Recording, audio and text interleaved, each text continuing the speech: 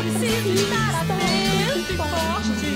Não temos tempo de temer. Tava ouvindo essa música numa viagem e lembrei de um insight que eu tive uma vez. Que todo medo é o medo da morte. Qualquer medo, quando a gente começa a investigar a fundo, vai dar no quê? No quê? Na morte. Por quê? Você tá com medo de ficar sem emprego, porque aí você não vai ter dinheiro para comer, para morar. Você tem medo de morrer. Você tá com medo de um relacionamento que não tá legal. Ou você tá com medo de se perder, de alguém mandar em você. Você tá com medo de perder sua identidade, que é um jeito de morrer também. Quando a gente tem medo de ser estuprada, a gente não tem medo de transar com alguém. Até porque estupro não tem a ver com sexo, né? A gente tem medo de morrer. Então, no fim, todo medo é o medo de morrer. Qualquer medo de dar uma opinião sua e daí de repente as pessoas te rechaçarem, e aí você para de ter valor para aquelas pessoas, ou elas vão te julgar, que é um jeito também de você morrer, porque você para de ter significado para elas. Então você não existe mais. Quando você para de ter significado, você não existe. E não existir é essa morte. Então, seja uma morte real ou simbólica, todo medo vai desembocar aí. Pelo menos todos os que eu tenho pesquisado. Não sei vocês, me contem se o medo de vocês, no fim das contas, não é medo de morrer. Aí eu ouvi essa música e ela fala que nós temos que estar atentos e fortes, porque nós não temos tempo de temer a morte. E é meio isso mesmo. A gente não tem tempo de ficar com medo. A gente tem muita coisa para fazer. Claro que às vezes você vai ficar com medo, vai precisar de uma ajudinha, mas você tem muita coisa para fazer. Você não veio aqui à toa, a gente não tá aqui à toa, de passeio. A gente existir é muito importante. Então vamos parar de ter medo de fazer as coisas. Medo de ter medo, de ter medo, de ter medo, de ter medo. Claro que é um pouco assustador pensar na morte, mas também é o jeito que a gente, que a nossa sociedade está pensando na morte. Essa coisa escondida, não dá para falar, a gente tem medo disso, a gente se apavora, sendo que é a única coisa que a gente tem certeza. A única coisa que a gente tem certeza que isso vai acontecer. Mesmo que você não acredite que você vai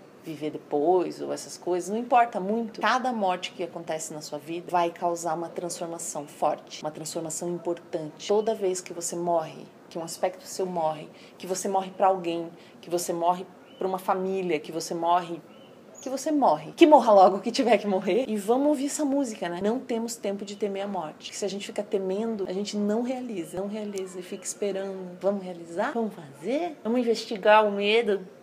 Ver onde é que ele tá? Pra gente poder esperar.